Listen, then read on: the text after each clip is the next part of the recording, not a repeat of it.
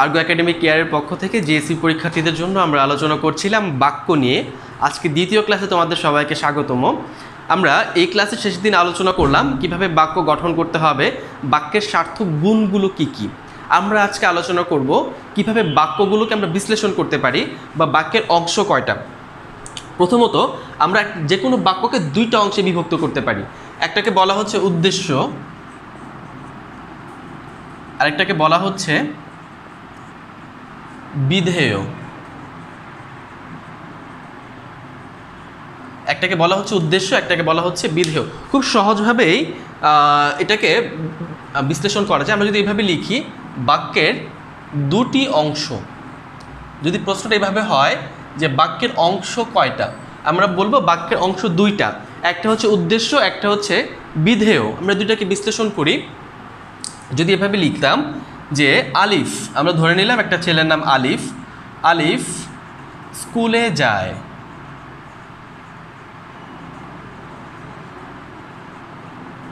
তো এই বাক্যের যে সাবজেক্ট সেই হচ্ছে বাক্যের উদ্দেশ্য। সাবজেক্ট ছাড়া বাক্যে যা থাকবে, আমরা বলতে পারি সাবজেক্ট ছাড়া বাক্যে আর কী থাকতে পারে? Object plus verb plus extension যা যা থাকবে বা কর্তা ছাড়া বাক্যে যা থাকবে, কর্ম প্লাস ক্রিয়া প্লাস অতিরিক্ত যা যা অংশ সবগুলোকে আমরা বলছি বিধেয়। আবারও বলি, শুধুমাত্র কর্তাই হচ্ছে উদ্দেশ্য বা আলিফই হচ্ছে উদ্দেশ্য। আলিফ যা যা করে, স্কুলে গিয়ে ক্লাস করে, টিফিন খেয়ে বিকেলে বাসায় এসে ঘুমিয়ে পড়ে। বাকি যা যা বলছি আলিফের পরে, সবই হয়ে যাবে বাক্যের বিধেয়। আশা করি উদ্দেশ্য এবং বিধেয় এই দুইটা অংশ নিয়ে আমরা বুঝতে পারলাম। ওকে, আমরা ইংলিশে পড়তাম প্রিন্সিপাল ক্লজ সাবঅর্ডিনেট ক্লজ বাংলায় আমরা সেটা নিয়ে আলোচনা করব যে খণ্ডবাক্য এবং স্বাধীন বাক্য এবং অধীন বাক্য। এই অংশগুলো নিয়ে আমরা আজকে আলোচনা করতে চাই, যার কারণে বাক্যের এই অংশগুলো সম্পর্কে আমরা একটু আলোচনা করে নিলাম। আশা করি তোমরা বুঝতে পারবা। ওকে, আসি এবার। খণ্ড বাক্য নিয়ে আমরা কথা বলব।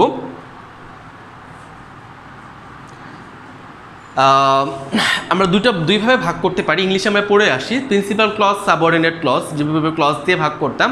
বাংলায় আমরা সেটাকে কি বলি? একটাকে আমরা বলি স্বাধীন বাক্য, একটাকে আমরা বলি অধীন বাক্য বা স্বাধীন খণ্ড বাক্য, অধীন খণ্ড বাক্য। এই দুটো নিয়ে আমরা একটু কথা বলার চেষ্টা করি যে খণ্ড বাক্যটাকে আমরা যদি নিয়ে আলোচনা করার চেষ্টা করি, খণ্ড বাক্য। খণ্ড বাক্য দুই প্রকার।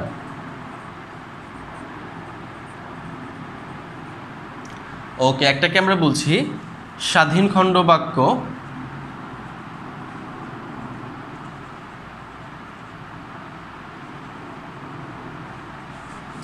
আরেকটাকে আমরা বলছি অধীন খণ্ড বাক্য ওকে, স্বাধীন খণ্ডবাক্য এবং অধীন খণ্ডবাক্য। কথা জিজ্ঞাসা হতে পারে যে, স্বাধীন খণ্ডবাক্য কী এবং অধীন খণ্ডবাক্য কী? খুব সহজ কথায় বলতে চাইলে এভাবে বলা যায় যে, যেই বাক্যটা ভাব প্রকাশের বা অর্থ প্রকাশের জন্য অন্য বাক্যের উপর নির্ভর করে না যদি নির্ভর না করে তাহলে সেটাকে আমরা স্বাধীন বলব। খুব সহজে বুঝতে পারছি তার কথার মধ্যেই ফ্রিডমনেস আছে তার কথার মধ্যে ইন্ডিপেন্ডেন্স আছে। আর যে অন্য বাক্যের উপর নির্ভর করে তাকে আমরা বলব অধীন খণ্ড বাক্য। একটা উদাহরণ একটা উদাহরণ দিয়েই আমরা আম, এইটার এটার ব্যাখ্যাটা আমরা বের করে ফেলতে পারব। খুব সহজ একটা উদাহরণ আমরা বই থেকে উদাহরণটা নিচ্ছি। যারা ভালো ছেলে তারা শিক্ষকের আদেশ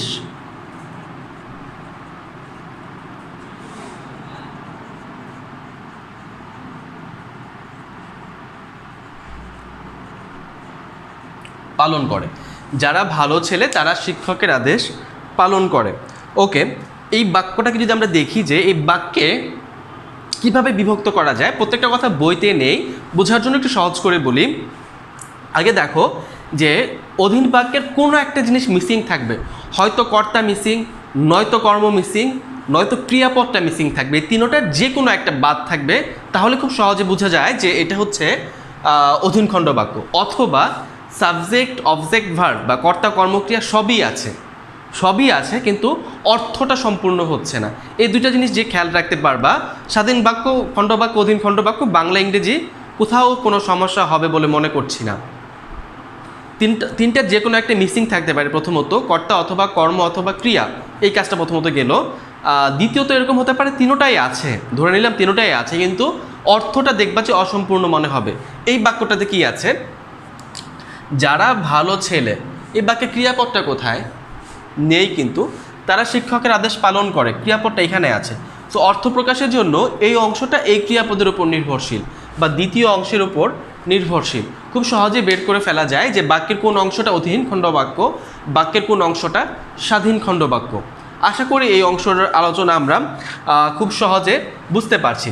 তবে আমাদের পরীক্ষায় যেখান থেকে প্রশ্ন করা হয় যে অধীন খণ্ড বাক্যের প্রকারভেদ, এইখান থেকেও প্রায় প্রতি বছরই একটা করে প্রশ্ন পাওয়া যায়। অধীন খণ্ড বাক্যকে কীভাবে বিভক্ত করা যায়, কীভাবে চিহ্নিত করা যায় বা কিসের উপর নির্ভর করে অধীন খণ্ড বাক্য হয়, আমরা সেটা নিয়ে আলোচনা করি। ওকে, আমরা যা দেখছিলাম যে অধীন খণ্ড বাক্যকে আমরা তিনটা ভাগে ভাগ করতে পারি। ওকে, আমরা যদি নামগুলো একটু লিখে রাখি। ওকে, প্রথমটা ছিল বিশেষ্য স্থানীয়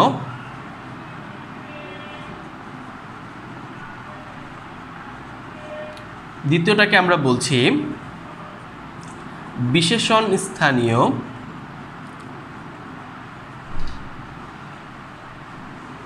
তিন নাম্বারটা হচ্ছে ক্রিয়া বিশেষণ, যেটাকে আমরা ইংলিশে বলি অ্যাডভার্ভ না? বাংলা আমরা সেটাকে বলছি ক্রিয়া বিশেষণ স্থানীয়। সো একটা বাক্য এরকম তিনটা স্থানীয় অধীন খণ্ড বাক্য হতে পারে। বিশেষ্য স্থানীয় হতে পারে, বিশেষণের স্থানীয় হতে পারে, অথবা ক্রিয়া বিশেষণের স্থানীয় হতে পারে। সো আমরা এগুলো নিয়ে একটু কথা বলার চেষ্টা করি। ওকে আমরা যদি উদাহরণে যাই, প্রথমটা দিয়ে যদি যাই ওকে প্রথম উদাহরণটা যদি আমরা এভাবে দেই, আমি বাড়ি গিয়ে দেখলাম,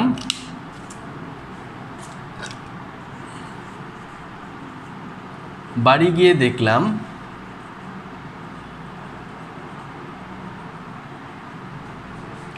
সবার খাওয়া হয়ে গেছে। সবার খাওয়া। আমি বাড়ি গিয়ে দেখলাম সবার খাওয়া হয়ে গেছে, আমাকে না খেয়ে থাকতে হবে। ওকে, আমরা যদি দুইটা অংশকে বিভক্ত করে দেই, এখানে একটা এইখানে আরেকটা অংশ। তো খুব সহজেই বুঝতে পারছি, আমি বাড়ি গিয়ে দেখলাম। খেয়াল করে দেখো, কর্তা, কর্ম, ক্রিয়াপদ সব আছে। তারপরেও বাক্যটা সম্পূর্ণরূপে অর্থ প্রকাশ করতে পারছে না। আমি বাড়ি গিয়ে দেখলাম, প্রশ্ন আসছে আমাদের মনে, কি দেখলাম? কি দেখলাম? সবার খাওয়া হয়ে গেছে, বাক্যটা কমপ্লিট সবাই খেয়ে ফেলেছে, বেশ, বাক্যটার কথা শেষ। তো আমি বাড়ি গিয়ে দেখলাম, কি দেখলাম? যাই হোক এই বাক্যটাকে আমরা বলছি যে অধীন খণ্ড বাক্য, এই ক্রিয়ার উপর নির্ভর করছে, বা এই ক্রিয়াটা এখানে শেষ হয়ে গেছে, এই যে ক্রিয়াটা শেষ হয়ে যায়, আমরা এটাকে সমপিকা ক্রিয়া বলি, এই সমপিকা ক্রিয়ার উপর ক্রিয়াটা, এই বাক্যটা নির্ভর করছে। কে বাড়ি গিয়ে দেখল? আমি বাড়ি গিয়ে দেখলাম। তো যেইটা একটু কনফিউশন এখানে, যে এটাকে আমরা নাম দিচ্ছি বিশেষ্য স্থানীয় বাক্য, কিন্তু খেয়াল করে দেখো, আমিটা কিন্তু বিশেষ্য না আমিটা হচ্ছে সর্বনাম। আমরা জানি যে নাউনের পরিবর্তে প্রোনাউন ব্যবহৃত হয় ইংলিশে, বাংলায় বিশেষের পরিবর্তে সর্বনাম ব্যবহৃত হয়। তো আমরা এটাকে সর্বনাম স্থানীয় না বলে বিশেষ স্থানীয় বলতে পারি, বা আমির পরিবর্তে আমরা যে কোনো নাম কিন্তু এখানে সংযুক্ত করতে পারতাম। আশা করি বুঝে ফেলার কথা। বিশেষ্য যা সর্বনামতা, আমরা ক্লাসিফিকেশন করার জন্য বা বিভক্ত করার জন্য, প্রকারভেদ করার জন্য বিশেষ্যের নাম দিয়েছি, সর্বনামের নাম দেইনি, কারণ বিশেষ্যটাই আগে আসে এবং সর্বনাম তো বিশেষের পরিবর্তে ব্যবহৃত হয়। ওকে, আশা করি এক নাম্বারটা বুঝে ফেলার কথা। আমরা দুই নাম্বারটা নিয়ে কথা বলি। দুই নম্বরটা এরকম হতে পারে, যে পরিশ্রম করে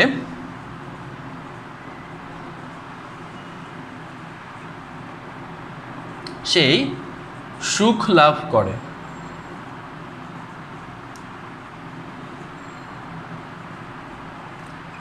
ওকে, এখানে দেখো, এই যে এবং সে এর উপর বাক্যটা নির্ভরশীল না, তার কাজের উপর বাক্যটা নির্ভরশীল। আমরা জানি বিশেষণ দ্বারা আসলে কী বোঝাবে? দোষ, গুণ, অবস্থা, সংখ্যা, পরিমাণ। ওকে, আমরা যদি বলি, এভাবে যদি বাক্যটাকে ভাগ করি আমরা এই পর্যন্ত যে পরিশ্রম করে যে পরিশ্রম করে, তিনটাই আছে কিন্তু। কর্তা এখানে যে বলতে তো আমরা সর্বনামই বুঝতে পারি। সো এখানে আমরা বলতে পারি কর্তা, কর্ম, ক্রিয়া সবই আছে, কিন্তু তারপরও বাক্যটা সম্পূর্ণ হয়নি। অর্থের দিক থেকে বাক্যটা সম্পূর্ণ হয়নি। বাক্যটা সম্পূর্ণ হয়েছে এই সমাপিকা ক্রিয়াতে এসে বা এই ক্রিয়াপদে এসে। সো বাক্যে যে পরিশ্রম করে, যদি আমরা এভাবে কথাটাকে বলি, তাহলে যেটা দাঁড়ায় তার কাজের উপর গিয়ে দাঁড়াচ্ছে যে তার কাজটা কেমন হচ্ছে। সো কাজ তার গুণের উপর নির্ভর করছে। সো আমরা জানি যে কথাটা আগেও বললাম, দোষ, গুণ, অবস্থা, সংখ্যা, পরিমাণ ইত্যাদি থাকবে, সেটাকে আমরা বিশেষণ স্থানীয় বলব। আশা করি বুঝে ফেলার কথা। ওকে আমরা তিন নাম্বারটা নিয়ে কথা বলতে চাই। এটাকে ক্রিয়া বিশেষণটাকে আসলে আমরা তিনটা জিনিসের মধ্যে নির্ধারণ করতে পারি। স্থান, কাল, কারণ। স্থান, কাল, কারণ। আমরা এটাকে ইংলিশে বলতে পারি এমপিটি হ্যাঁ এভাবে বলা হয়। ম্যানার প্লেস টাইম এভাবে আমরা ভাগ করতে পারি। এই তিনটা অর্থ যদি প্রকাশ পায় কোনো বাক্যে বা কোনো খণ্ড বাক্যে, সেটাকে আমরা ক্রিয়া বিশেষণ স্থানীয় বা ক্রিয়াটা কীভাবে কাজ করে সেই অর্থটাকেই তো প্রকাশ করে। যদি আমরা একটা উদাহরণ দেই, যদি তোর ডাক শুনে কেউ না আসে, তবে একলা চলো রে। ওকে, খেয়াল করে দেখো, যদি তোর ডাক শুনে কেউ না আসে, এখানে শর্ত দিচ্ছে। আচ্ছা তারপর একলা আসতে হবে। এটার মধ্যে কি দাঁড়াল? স্থান নাকি কাল নাকি কারণ? খুব সহজেই বোঝা যায় যে এটা হচ্ছে কারণ, একলা চলার কারণ। যদি কেউ না আসে, তাহলে আমাকে কি করতে হবে? একটা চলতে হবে। কি করতে হবে? কাজটা কি করতে হবে?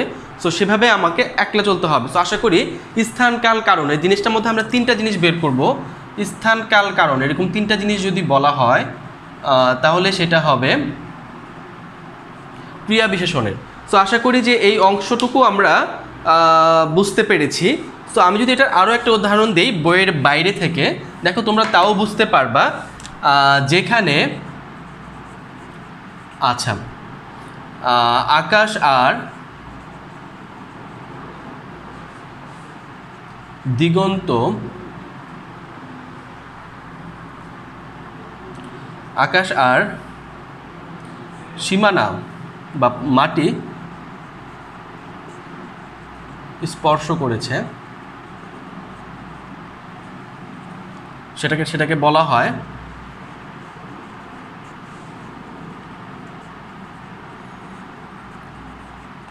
দিক চক্র বাল।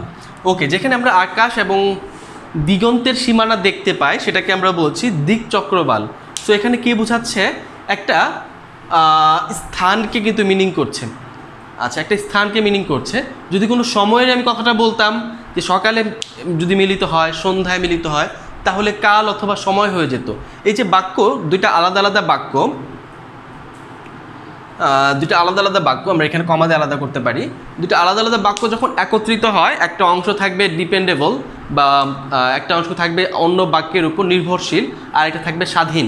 যদি এরকম বাক্য দুটি হয় এবং স্থান, কাল, কারণ নির্দেশ করে, তাহলে সেটাকে আমরা বলতে পারব ক্রিয়া বিশেষণ স্থানীয়।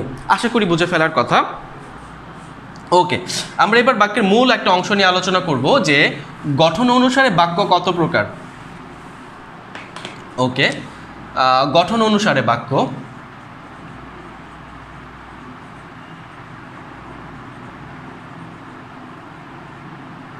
তিন প্রকার, খুব সহজ একটা জিনিস, আমরা খুব সহজভাবে বলতে পারি যে সরল, জটিল,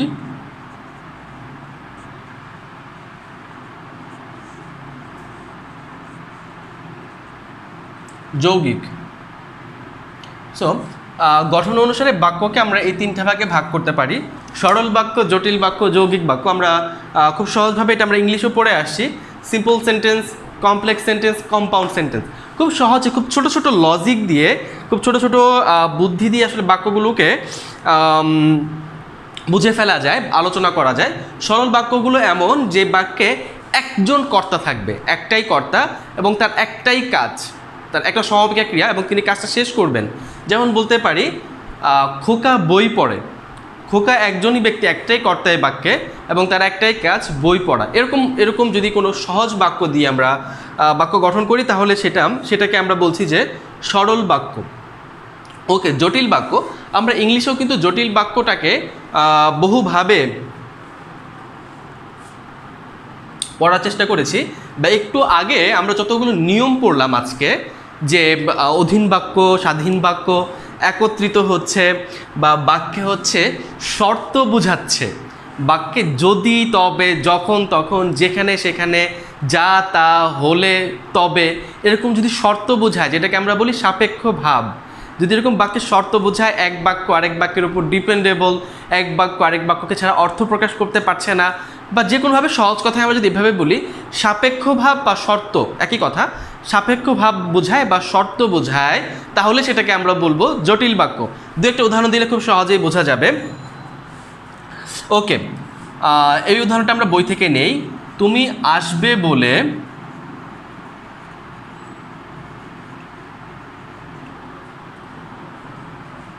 আমি অপেক্ষা করে আছি। ওকে আমরা বাক্যে জিনিস ভুলে যাই। গঠন অনুসারে আমরা বাক্যটাকে নির্ণয় করার চেষ্টা করি। এই বাক্যের শর্ত কোথায়? এই বাক্যের শর্তটা কোথায়? বলে, বাক্যে যে কোনো একটা শর্ত থাকবে যে কোনো একটা শব্দ থাকবে। আচ্ছা যিনি পরের উপকার করেন, তিনি প্রকৃত মানব। এই বাক্যটা যদি আমরা খেয়াল করি, দেখো বাক্যের শর্তটা কোথায়? যিনি, তিনি, যা, তা, যেভাবে, সেভাবে, যখন, তখন, যদি, তবে, ইত্যাদি শর্তের যদি আমরা প্রয়োগ দেখতে পাই কোনো বাক্যে, তাহলে সেই বাক্যটাকে আমরা বলব জটিল বাক্য। আশা করি জটিল বাক্যের অংশগুলো তোমরা বুঝে গেছো। এমন কিছু শর্ত খুঁজে বের করতে হবে যে শর্তগুলো তারা বাক্যটা তৈরি হচ্ছে। ওকে, বাক্যটাকে জটিল করতে হবে তো না? কমপ্লেক্স করতে হবে। জটিলের ব্যাপারগুলো আমরা জানি কীভাবে পেঁচাতে হয়। সো এই বাক্যে একই ব্যক্তিকে কিন্তু বলা হচ্ছে, যিনি তিনি যারা শর্ত করে।